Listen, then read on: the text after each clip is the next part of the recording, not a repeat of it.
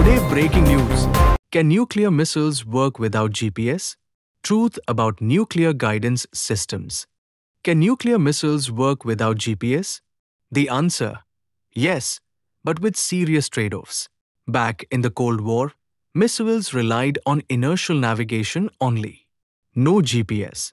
They hit wide areas, but needed huge warheads to compensate for inaccuracy.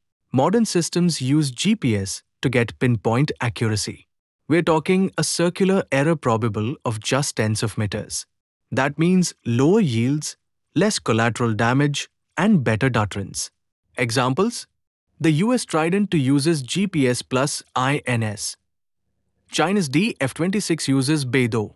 Russia? GLONASS. India? NavIC for Agni-V. GPS isn't alone. Every superpower has a backup. GPS can be jammed or spoofed, but military systems switch to encrypted signals, inertial guidance, or even star tracking. They don't rely on one system. Submarine missiles use GPS to lock launch points and sync with command.